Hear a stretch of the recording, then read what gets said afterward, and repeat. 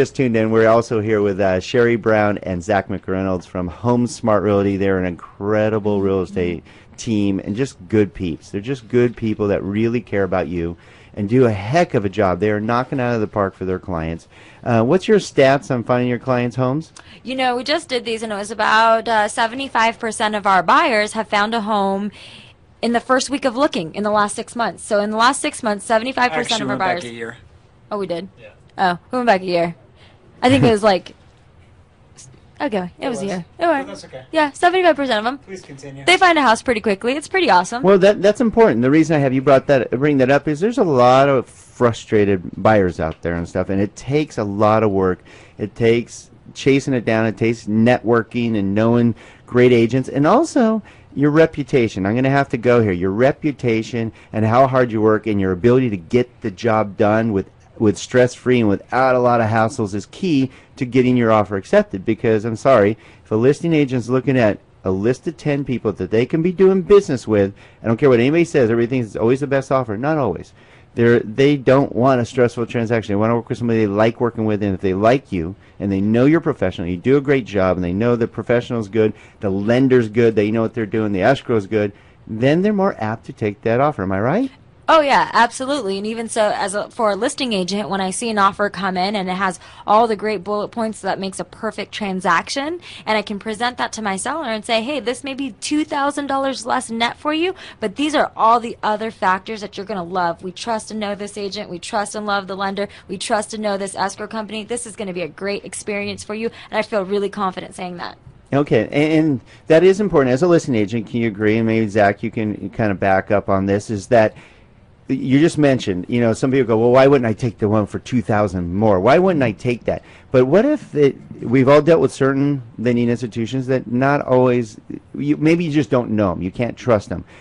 If you don't get the deal through because the lender bombs it or the agent goes out and has them buying a different house, they're just not ethical. For two thousand dollars, would your what would your sellers do for that two thousand dollars? To have to go back and, and relist, resell their Right. home, and change their whole life and all their plans. That two thousand wouldn't really matter, would it? Exactly. And at the end of the day, really, it's accountability.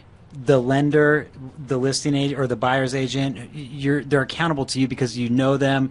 They trade on their name just as we trade on our name, and you're trusting that they can get the job done. So using somebody that you that has a good name and you've done business with in the past goes a lot further than say two thousand dollars in your imaginary hypothetical situation. and let's say $2,000 in our imaginary hypothetical situation, $2,000 over the grand scheme of things. What if the escrow takes 30 days longer than it was projected to? That's another mortgage payment. What if the perfect home passes you by and you can't close on that home because you're working with an unethical agent mm-hmm. that you don't know and trust that has no accountability? Now you lose that dream home, meaning that you're never going to regain that. That dream home is gone. So $2,000 over the overall picture is very minimal. And that's not even including all the frustrations with that, the emotion. It's usually the emotions that, that are involved in this because. Psychologist fees. and how those going? Sorry, By the Zach. way, you owe me a hundred bucks.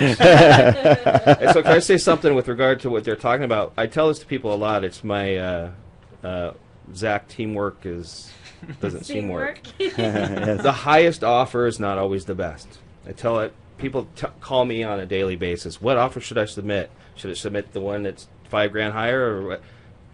send me the highest and best, or the best offer? Like you said, if if you've got a guy out that's got offers on ten different properties and he's going to run once if, or if you got somebody that's I want this house, I've got Cherry Creek Mortgage lend, lending the money, I've got a great buyer's agent, I got a great, you know, that's the one I want to see. especially in a short sale because you'll have an agent that hopefully you know you know that they know what they're doing and they're able to communicate that to their buyer and they understand the short sale process and they're willing to wait it out. Not some fly by the night agent who does have an offer on 10 different properties. So if the other one comes through you know it, it's mm-hmm. accountability. You're working with somebody that you know knows what they're doing Uh, and that's key. And I appreciate that you work with you know Taylor because I know you guys watched how he works and, and that you're you you know the deal will get done with Taylor. You know that he'll give the information. Taylor, you've become. What's your favorite new tool for your clients? Which one? Mortgage coach? Yeah, you are Yeah, the, becoming the master, and I have to bring this up because this is imp- great for your clients. Is a lot of lenders out there give you this good faith estimate that means nothing to you. It's a bunch of numbers on a page, but it really doesn't matter. What really matters is your total cost analysis. What is it really costing you to get that home? What are my real payments? What are my options? What are my payments versus various sale prices? What's nice is Taylor provides this beautiful for uh, full color graphs, everything for your clients that says, if you buy this home, is exactly what the payment's going to be, and here's what your cost to close is going to be. If you buy this home, it's going to cost you this much, and here's what your payment's going to be. If you buy this home, so they're not in the dark. Does that help you guys? I would imagine because Oh, now they're not asking you. Yeah. Oh, yeah. Well, and it's my favorite question is when they look to me and say, "What is my mortgage payment going to be?" I mean, I can ballpark it, but I know where the expert or have the experiences that Taylor has. So him uh, providing that up front is just such a phenomenal tool. And until I have to ask, how much fun is it working with these guys? I mean, come on. Oh, they're amazing. And to piggyback on what they're saying, when you use local, these are the experts. They know where to send you. Uh, to piggyback on accountability again, when you have somebody out there working as hard as Zach and, Zach and Cherrie are, if they give you a deal or if they're involved in a deal, you're holding that to a higher standard. You're putting effort in that. You're putting more effort into it because you know how hard they've worked on that deal. so anything less than closing on time is going to be a failure. So um, it- working with them is definitely a plus. You know.